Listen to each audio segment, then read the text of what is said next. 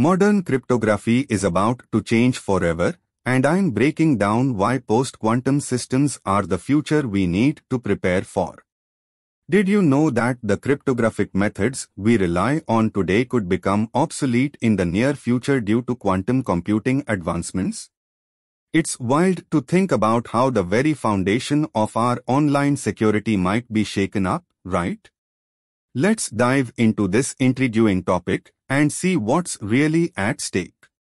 In this video, you will explore the evolution of cryptography from its historical roots to modern systems and the urgent need for post-quantum cryptography.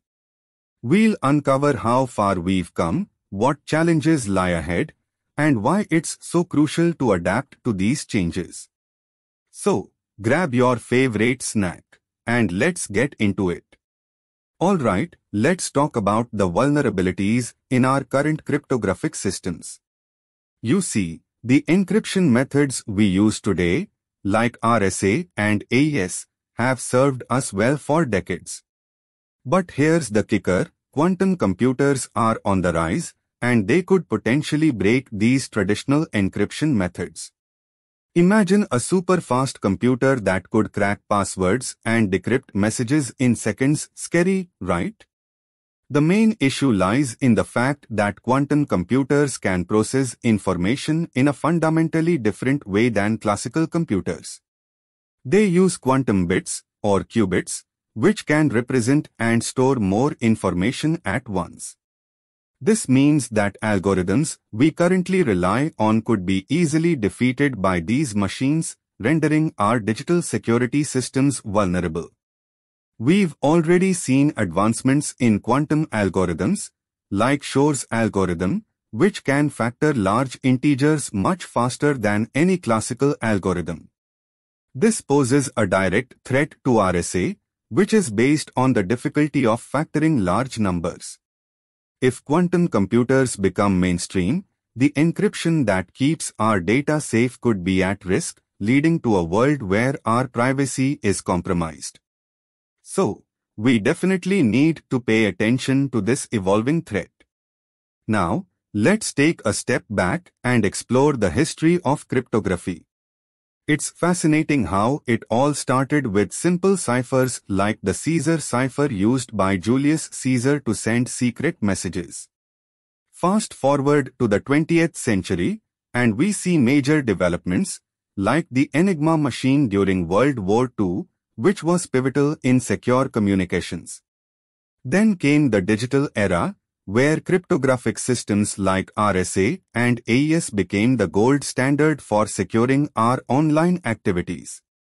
RSA relies on the difficulty of factoring large prime numbers, while AES encrypts data in blocks, making it extremely secure. These systems have shaped our digital security landscape and are the backbone of online transactions, communication, and data protection. However, as advanced as these systems are, they were built in an era where quantum computing was just a concept.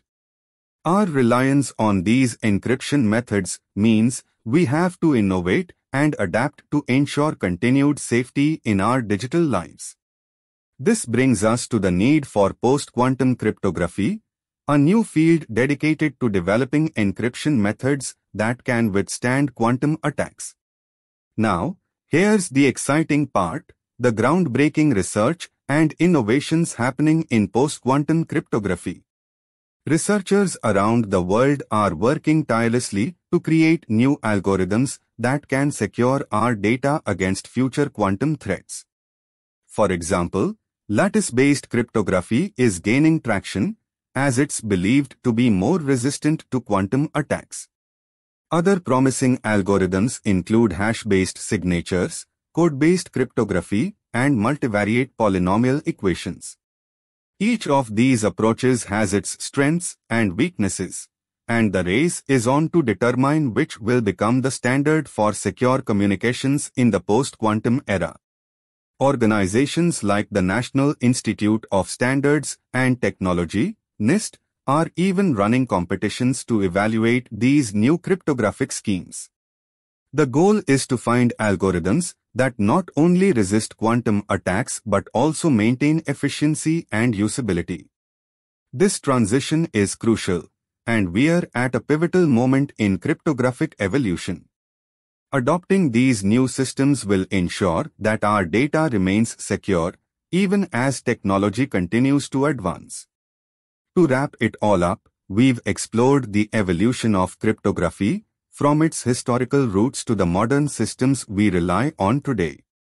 We've also discussed the urgent need for post-quantum cryptography to tackle the rising threats posed by quantum computing. Adapting to these emerging technologies is essential to ensure our continued data security in an increasingly digital world. So, what do you think about post-quantum cryptography? Are you worried about the future of our online security? Let me know your thoughts in the comments below. And don't forget to check out my other videos on cybersecurity trends to stay informed about what's happening in the tech world. See you next time.